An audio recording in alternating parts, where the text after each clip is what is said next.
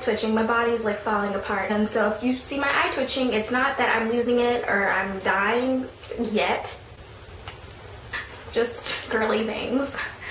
Hey guys, welcome back to Man Crush Mondays. So today I'm going to be talking about how to get over a guy. I was talking to my friend last night and she was just telling me about how annoyed she was that like there are guys that she's like that still like really affect her and she doesn't really know how to get over a guy really and so I thought I would make a video giving you some like tips actually five tips on how to get over a guy. As someone who has had a great deal of rejection in her life, I think I am an expert Without further ado, let's get right into the video. So my first tip for how to get over a guy is distance. So for me, I actually got lucky. The one guy that I really liked for a really long time, um, we were graduating, so I didn't have to see him every day anyway.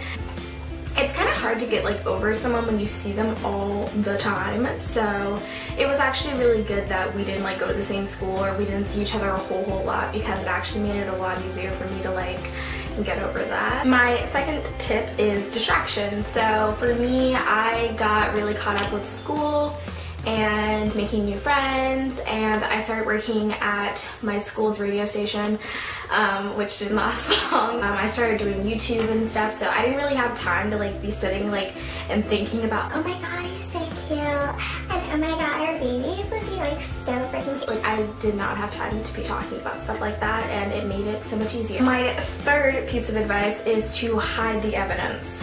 So you dated this guy, obviously hide the stuffed animals that he gave you, hide the pictures that you guys took together, and if he was like a friend of yours, you could do my little tip.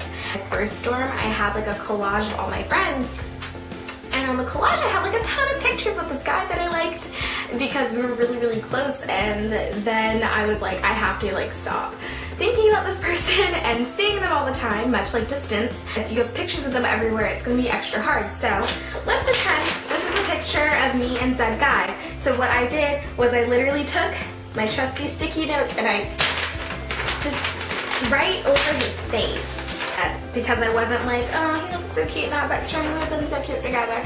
It's more like, oh, look how cute I look in this picture. Who is this again? And then you take it off and you're like, oh yeah, right, or then you put it right back hide the evidence. Don't throw it in your face all the time that, oh my god, remember that one time I went to Dave and Buster's with him and he won me an ugly bear and I was like, oh my god, this bear is so ugly, but I love it. Throw the bear out. I'm not saying you have to like burn it or anything, but like put it in a box. Like go Lorelai Gilmore on this and just put it in a box and put it in the back of your closet and forget about it and then a few years later cry about it.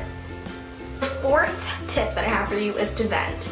Personally, I get a lot out of just like talking, especially if it's like to my camera because there's no like real response. I feel like I'm always right if I'm talking to a camera. I'm sorry, I just spit up all over myself. Why don't you have a boyfriend, Jayla? Because I can't keep spit in my mouth. When you vent, it just makes you feel a lot better. It's very like cathartic to just like say it like it is and just tell your friends, you know what, I really hated him. He's such a jerk.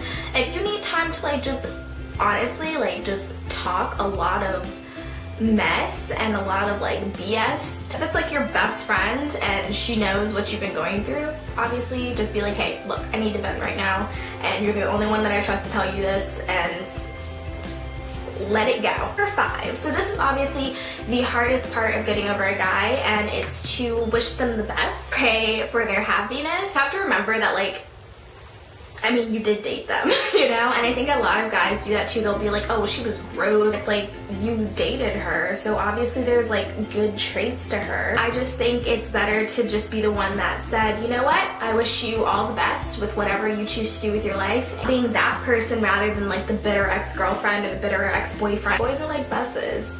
This one, the next one's coming. Like, don't even worry about it, girl. Getting over guys not easy, but um, you can do it I'm here for you if you need me. And you know, it's better to, you know, just like rip him out because you know who's really important? You! And this is a crude drawing of me. I hope you can see it. Focus on you. You. It's all about you. That is it. If you guys guys enjoyed this Man Crush Monday video, be sure to give me a thumbs up and comment down below if you have any other tips for anyone that is going through a breakup or trying to get over someone they liked. And yeah, I will see you guys in my next video. I love you, love you, love you so much. Mwah! And I'll see you next week. Bye.